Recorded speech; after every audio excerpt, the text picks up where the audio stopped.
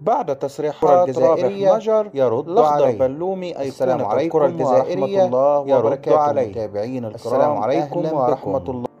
طبعا رابح مجر طلع على قناة إم بي سي مصر وقال باريس سان جيرمان لا يستحق الخسارة أمام مانشستر سيتي. الحكم طرد جاي بغرابة وتغاضى عن طرد دي بروين ولم يمنح أخطاء على نيمار. هدف دي بروين رائع يدرس أما هدف رياض محرز فجاء بعد خطأ فادح من لاعب الجدار. الكرة كانت مسددة بشكل عادي ولو أحكم الجدار غلق المنافذ لما سجل الهدف. أتوقع مباراة قوية في لقاء العودة وإقصاء مانشستر سيتي لأن فريق باريس سان جيرمان يلعب جيدا خارج ميدانه خصوصا بوجود نيمار ومبابي. الأخضر بلومي يرد عليه بقوة.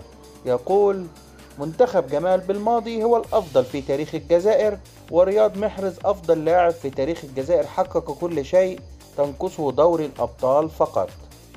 بلومي لا أحب أن يقارنني أحد بأي لاعب سواء من جيلي أو من الجيل الحالي فأنا مجرد لاعب حملت قميص المنتخب الوطني لفترة من الفترات منحت ما أملك للمنتخب ولم أقصر وانتهت مسيرتي وأنا راضي عن ما قدمته.